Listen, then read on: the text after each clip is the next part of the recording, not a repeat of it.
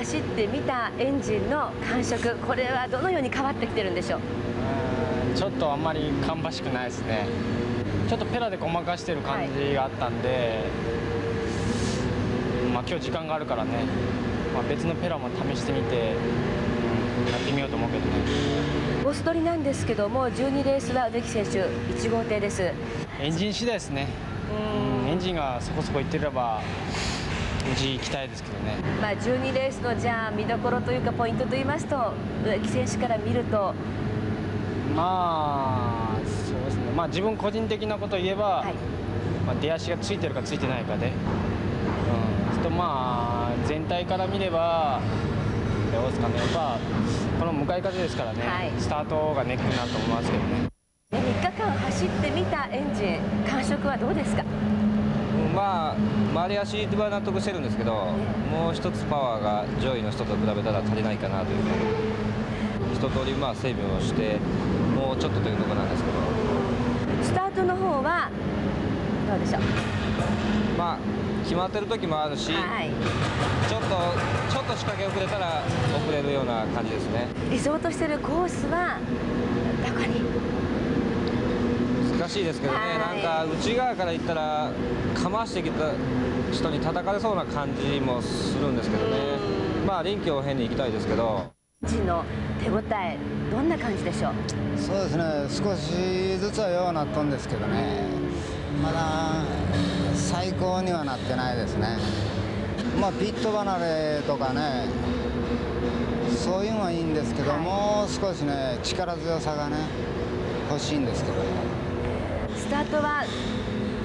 ちょっとね自分の思ったんよりは突っ込めてないですね。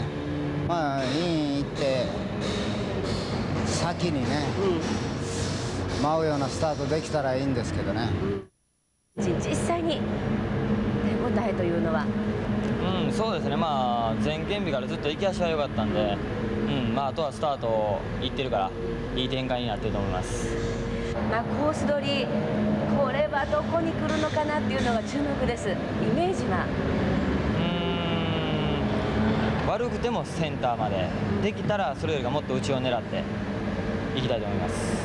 今日は少し風がきついのでね、はい、まあその辺だけあとはどのように影響するかっていうことだけ考えて走ってみたいと思います。エンジンのまあ勝率通りぐらいのまあ感触だということでしたけども、はい、実際に今4日目、はい、どうでしょうか？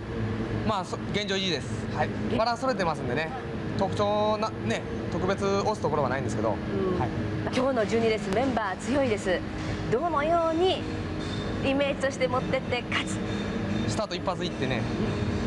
こうまくり上げたいですね、はい、三島選手5号艇ですが、はい、コース乗りの方はどこら辺に？やっぱりねアウト寄りになると思いますけどピットバネよかったらね、はい、取りに行きたいですエンジンの、まあ、感触はどんな感じでしょうか、まあ、初日は別として2日目からはスタートの時の行き足がいいんで、まあ、十分満足してます。ペラとこの宮島の水面の、まあ、ピタシというペラはもうまだ作って2節目なんですよ、はい、今節が。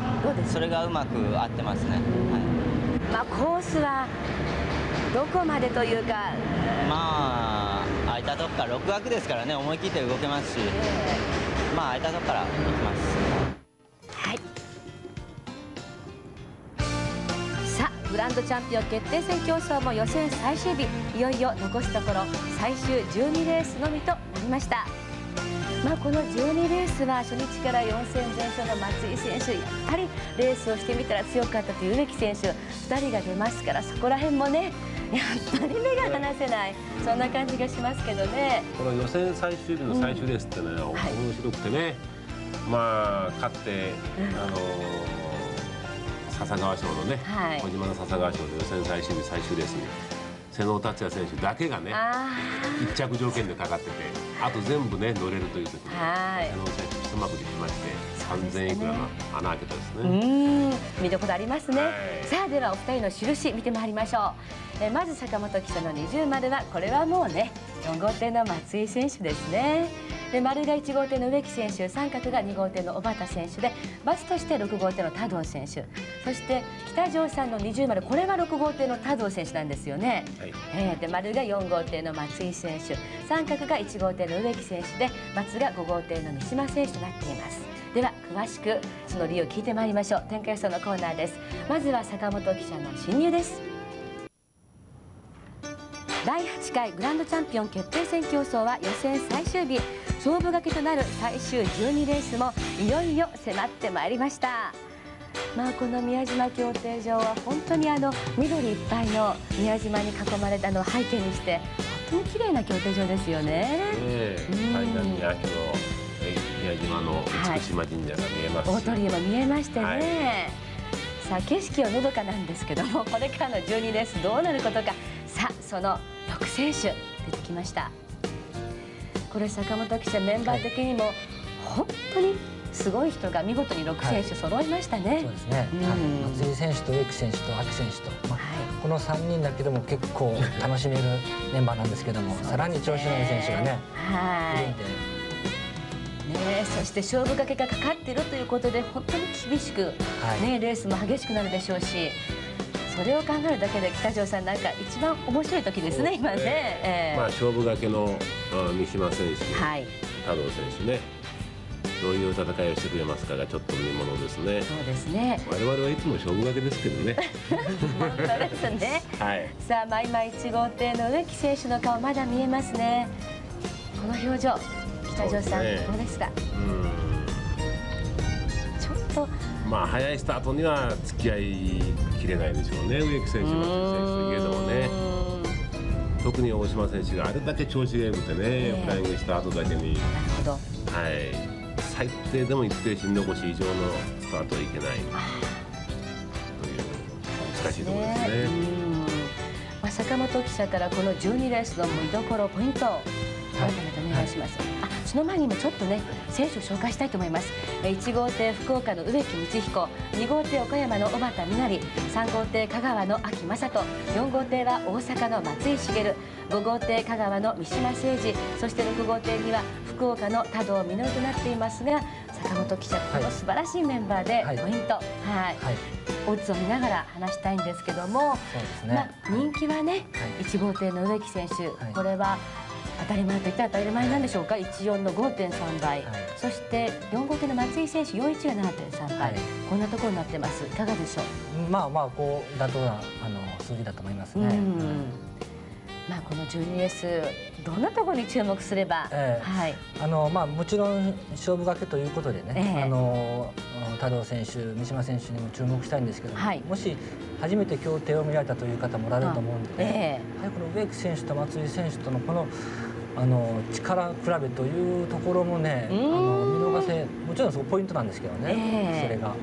そこもあの2人の強さを解くと見てほしいなという気もするんですけどね。本当ですね。松井選手は今4戦全勝、はい、静かですよね。そして植木選手はもうとにかく強い。ただちょっとエンジンの方が完璧とは言えない部分もあるけどそれもでも直線情報によるとね、ねはい、かなりいいと。はい。ジュニアスピックアップしました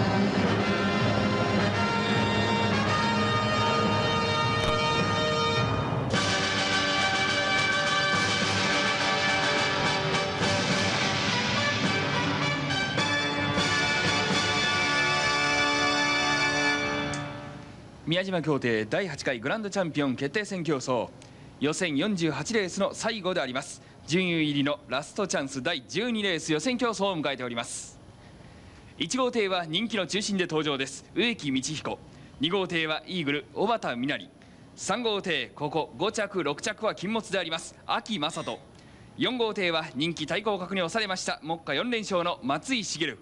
5号艇はここ1着勝負であります。三島誠二そして6号艇は3着以上の勝負掛けです。多藤実以上の6名の対戦であります。さて6選手のコース取りでありますがインコースに仁王立ちです。1号艇の植木道彦がインを取ります。そして2コースには3号艇の秋正人。センター3コース4号艇の松井茂5連勝なりますか。そして4コース中段に陣取りました6号艇は多藤実5コース船引いての角位置が2号艇の小畑6コースから起こします。1着まで届くのが6コース。5号艇は三島誠司。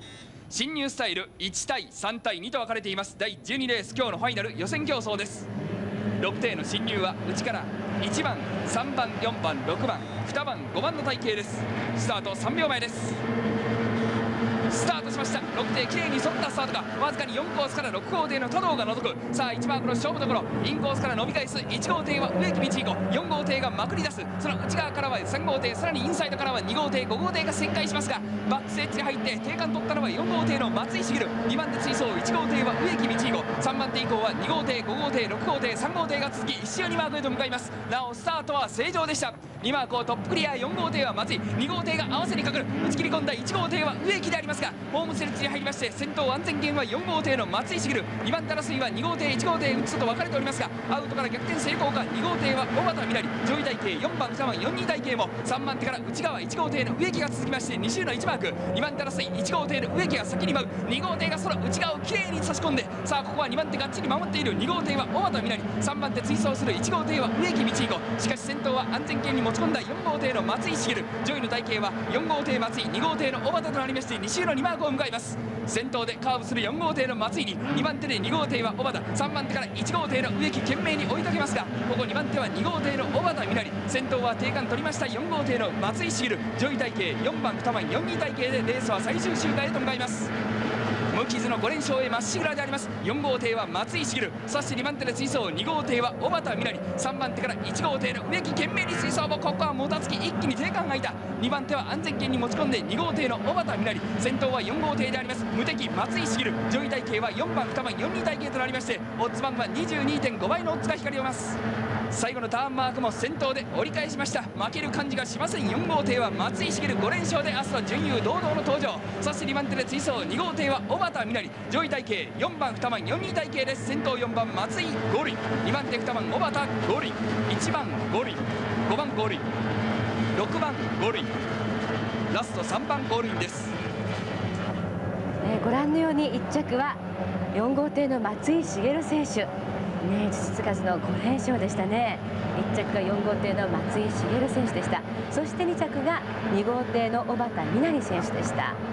4番2番1着が4号艇の松井選手。2着が2号艇の小畑選手。4番2番でした。これは北条さん、はい、強かったですね。そうですね。松井選手はね。松井選手これでパーフェクト V がちょっと見えてきたかなという感じですけどね。まあ小畑選手はもう多藤選手が勝負がけっていうのを読んでましてね、ええ、多藤選手の隣に行きましたね。これはもう大正解かなという感じですね。ね。坂本騎手あ出ましたね。改めまして4番2番。4番2番で2250円。4番2番で2250円でした。坂本騎手今の12レース。うん。そうですね、うん、あやはりあの松井選手のうまさも光りましたし、はい、まあやっぱりその1着も当然なんですけど2着からそういう見方ありましたね。ね、はい、1号手の植木選手と2号手の小畑選手と。ねエンジン的にはね植木選手のちょっと上かなという感じもあったんですけどね、はい、2周1マークの小畑選手の差しが見事でしたね、ターンマークと植木選手の間狭いところでね。植木選手がいたからきっとみんなファンはねまだ何かって思ってる人いたと思いますけどね。そうですね、うん、7倍と22倍じゃ違いますんでね。そうですね。12レースは4番2番で2250円でした。でも松井選手なんか見る限り本当に自信持って最高のレースですね、リズムいいですね。本当にね戻ってきました。うんなんか風格っていうか貫禄というか北条さんどうですか？やっぱ肩の力をが抜けてますねレース行ってね。その分ハンドルがよく入ってるなって感じがします、ね、さあではもうすぐまたこの12レースリプレイでねご覧いただきましょう、はい、12レースです